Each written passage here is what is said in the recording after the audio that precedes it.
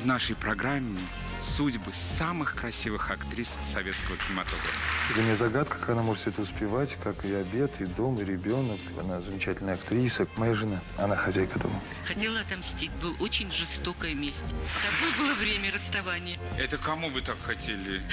Ему. ему.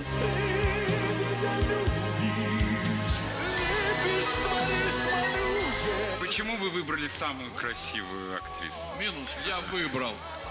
Это она согласилась. Мужчина. Сейчас приедет цыганка.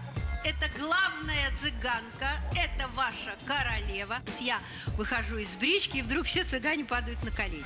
На мне всегда было клеймо, меня муж снимает. Да. Ребята, выходите замуж за таких, которые Ну, через комитет. значит, вы правильно выбрали Владимира Басова. Это Млечный Путь. Он не имеет ни начала, ни конца. И вдруг, когда меня утвердили, вот тут уже у меня вот был мандраж. Я каждый раз говорю, только не объявляйте меня, пожалуйста, студенткой, спортсменкой, комсомолкой. В субботу на первом.